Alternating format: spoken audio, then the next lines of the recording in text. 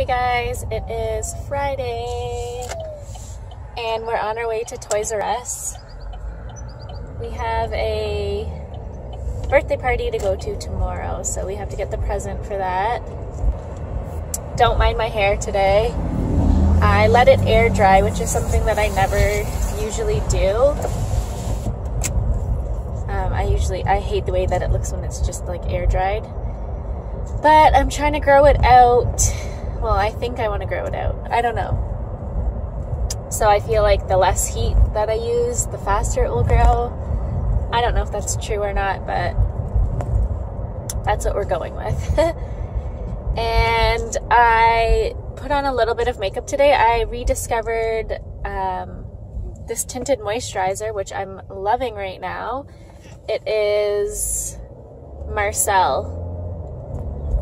Marcelle Tinted Moisturizer and just a little bit of blush and eyelashes and that's it. I prefer wearing eyelashes over mascara just because it's quicker for me to put on a set of eyelashes than it is for me to do mascara. I don't know. I'm just used to it so I can just pop them on in like two seconds. And then it's also easier to clean up at the end of the day because I hate taking off mascara. It's so messy. These, I just ripped them off and done. Also, I was going to update you guys about the disposable diaper situation. While we were away, you guys know I used um, both the Honest Company and the seventh generation diapers for four days. And with both of them, every night I had little leaks. Nothing major, but like they did leak a little bit. And blowouts as well with both of them.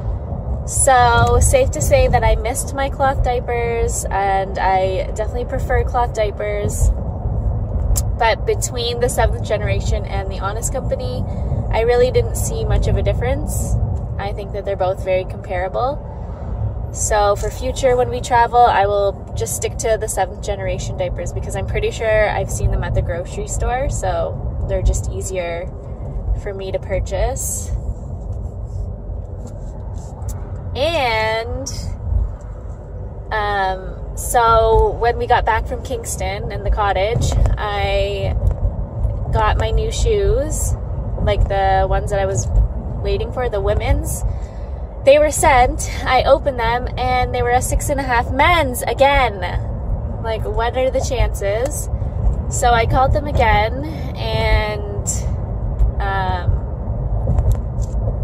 I'm like, I got sent a six and a half men's again. I ordered a women's. I'm like, are you guys sure that this color even comes in a women's? Because what are the chances of it being sent twice? And the guy was like, oh, yeah, yeah, it is. They do come in women's. It must have just been a mistake. So, anyways, I'm supposed to be receiving the new ones today. And hopefully they are women's. Who knows? If not, then I give up. I'm just gonna have to like find a different color. So, super annoying. And also this weekend, I'm just reminded because I'm driving by it right now. It's um, like an artisan festival where they set up like tons of tents all at the like lake shore and like have different vendors. And this is where I always get like my favorite favorite body butter. So I've been out of it for like six months. So I'm gonna stock up this time. I'm gonna get like a whole bunch and I'll show you guys. What are you deciding on? I like this one because it has cuddles this cute little one. Okay so you can put the other one back. Hi, Stella B. You can even get Hi. Mommy, you can even get Hi. gems. Mommy, you can even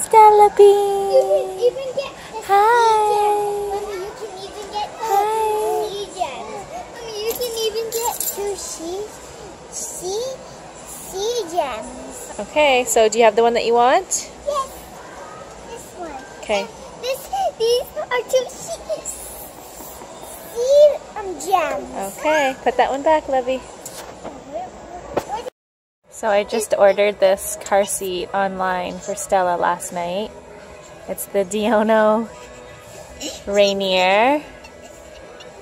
And since we're in Toys R Us now, I was like, let me just sit her in it, and I feel like she loves it. Stella! Stella! Do you love your car seat? Oh, careful.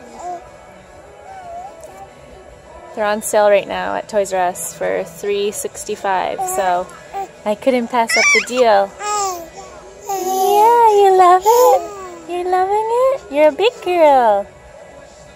And Maya has the Radian RXT. And you're gonna have the Rainier, right?